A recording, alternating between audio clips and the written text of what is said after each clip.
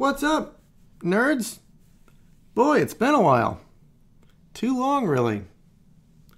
There's not really a reason for that. I just haven't done anything recently I thought was super interesting.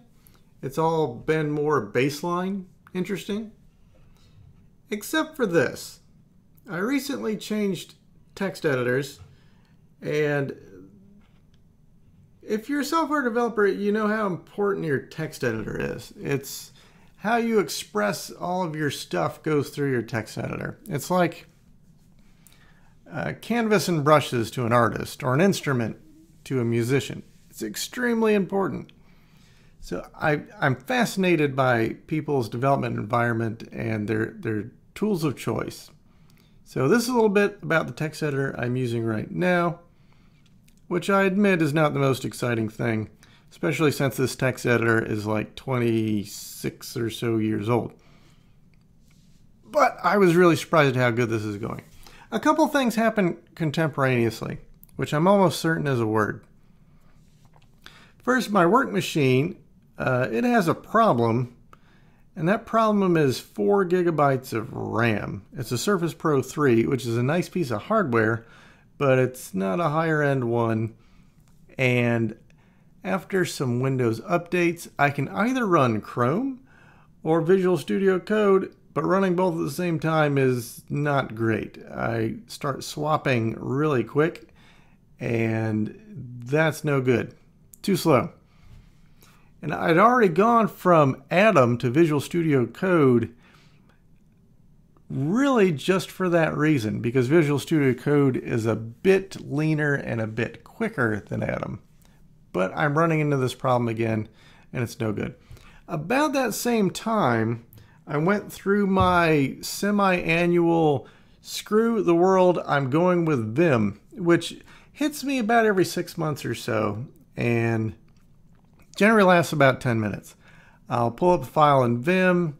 I'll realize I don't know how to exit Vim. I will hit a bunch of keys and have my file disappear. And then I'll decide, you know what? Maybe mice aren't the worst thing in the world after all and I'll go back to whatever I was doing. This time, I decided smart people use Vim. It's something like the third most popular text editor, according to Stack Overflow. I'm not a smart person, but I can fake it. So I'll fake it for a week and see how it goes. And I've been using Vim ever since as my primary development environment, my primary text editor. And it has been awesome. And there were advantages to it that I really hadn't thought of when I started using it. Now, first advantage is I don't have to run Vim on the machine I'm on. At home, I've got this beefy 6 core, 12 thread, 32 gigabytes of RAM monster. And it's running OpenSSH server. So I can just run all of my development stuff over SSH there and I can poke a hole out through my firewall for whatever uh, Webpack server or browser sync for that port. And I can see the updates on a browser on my local machine, but I'm running all my development stuff on my monster at home. That means I can run it on my Surface Pro, it doesn't take any RAM. I can run it on my Chromebook using the Secure Shell extension, and everything works perfectly. So it basically means I can run a really lightweight client to do very serious ish development work using Vim. The second thing that was really great about it uh, is, and it doesn't sound like it would be great, on most IDEs or text editors, it has a shallow but brief learning curve. What I mean by that is you can learn what you're going to learn how to use your text editor pretty quickly, but then it stops and you're never going to get more productive with that text editor. You're just going to baseline there. With Vim, the learning curve is very steep, but it goes on for a very long time. And after a couple weeks of using it, I'm already probably on par with the speed I was in my old text editors, but I'm just going to keep getting faster and faster as I learn more stuff because Vim is it's like the Photoshop of text editors. It's bottomless. So I keep learning new stuff and I keep getting faster and faster with Vim.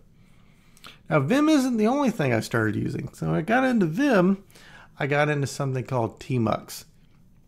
And Tmux is a way to divide your terminal into little virtual windows that you can use to run different stuff and also saves your session so you can come back to it. When you're working remotely, that's important if, if your Wi-Fi drops out. You don't just want to lose all your stuff. With Tmux, you can just reattach to that session and get back to what you're doing. So all that works, and I'm on my machine right now, but normally if I'm off, away from my machine, I will just SSH into it. Look, I exited Vim. Let's see. I've got a little script, and this is in some dot files I've shared on GitHub. Uh, uh, and it's just a little tiny shell script that basically you and I have a alias for it that's just dev. So I can say dev geoportal. It'll look and see if that session exists. If it does, it'll connect me to it. If it doesn't, it'll create it with two windows, which is how I like my uh, dev sessions to look like. So I can go dev geoportal and it's connecting me to the session I already had running with, with two windows. I've made the font here much bigger than I'd usually keep it. So from here I can just go npm start. You can start up my stuff. You can start browser sync and it's going to launch this. And it's going to start this browser sync on a port that I have poked out through my firewall so I can pull up the site running in a browser from wherever I am. And on Vim, I have some ex extensions installed. It's doing some on-the-fly linting. You can see it saying I have a problem here. Missing semicolon.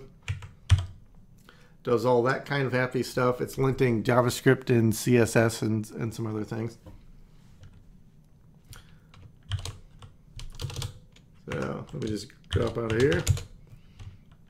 Now I can detach from this. So whenever I want on a different machine at a different time, I can just go right back into it. I go right back to that section, that session. Go ahead and close out browser sync and detach. So that's how I manage session, sessions and, and getting to different stuff. For Vim itself, I don't have a whole lot of plugins running right now. And that's a uh, unusual. When I look at most people's uh, Vim RC files, it's a little off-putting because they'll have like 80 plugins running. And I don't see how in the world anyone can store all of Vim shortcuts and 80 plugin shortcuts in their brains at the same time. What I have running is a theme, Dracula, which I kind of like. Uh, an extension for Vue.js so it does proper highlighting.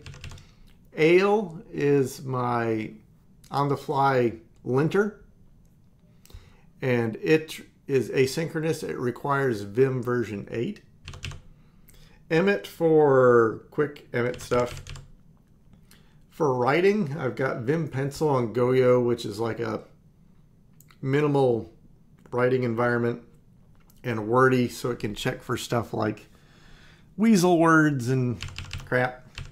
NerdTree is like a little file browser plugin. I, I very rarely find myself using it unless I'm in a project I haven't been on in so long I can't remember where stuff is. Uh, NeoComplete does code completion. It's also asynchronous, or it can be. Vim Airline is an, this nice status bar you see down here. Fugitive does Git stuff, and Prettier does some uh, basically prettying up your files. And prettier is kind of nice. It's a bit nicer than your normal beautifier. You can give it exactly what you want and it'll style it uh, pretty up accordingly. Is especially helpful when you have a project with more than one person editing it. It can keep everything uh, the the styling of it the same for everybody in your project, which is very nice. Well, that's about it. All these uh, my dot files are on GitHub. I'll put a link to it. Uh, yeah, that's about it. The only things I would say are if your excuse me distribution isn't on Vim 8, you should find a way to make it Vim 8 because it is a really big upgrade. In particular, it does the asynchronous stuff, which so, so you can run stuff without locking up the main thread, which is was one of the really nice things about NeoVim. You can have that in regular Vim now. Well, that's about it. I've been super happy with Vim. If you've tried it before and it just drives you nuts, I totally understand. It's been driving me nuts every six months for like 20 years now. But if you have time, uh, just use it exclusively for a week or so and get the shortcuts under your fingers. I think you'll find it's really kind of awesome. I would also say two other things. If you're running, want to run uh, OpenSSH server at home, uh, there's a service called duckdns.org, which is like a free DNS, dynamic DNS service, so you can always get back to your local machine. And if you don't have a Linux machine at home to run OpenSSH for a, a central point of contact, you can use a Raspberry Pi. A Raspberry Pi is a $35 ARM computer, about the size of a credit card. And I'm holding one right now, you can't see it, with a super nice case. And by super nice, I mean it's like $15. That and a SIM uh, SD card was like maybe 60, 70 bucks. And it's a fully working Linux machine, computer. I have Arch on here, OpenSSH server, and my dot files, my development environment. And it I could I could use this if I wanted as my main central repo to SSH into and do my work. I will say if you're doing like C compilation stuff, like you're installing image Optim in Node and it has to compile like gifsicle and all that stuff. Not the fastest thing in the world. It is a $35 computer. But for just general day in, day out kind of work, uh, it's it's plenty fast enough for web development. So that's an option if you don't have a Linux machine at home you can run this stuff on. Anyway, if you found that interesting, I will probably be posting soon with some, uh, hopefully not all ranting about Webpack, because Webpack drives me a little bit crazy, but it's kind of the thing now, so I'm I'm I'm trying to get into it. Anyway, I'll catch you later. Bye bye.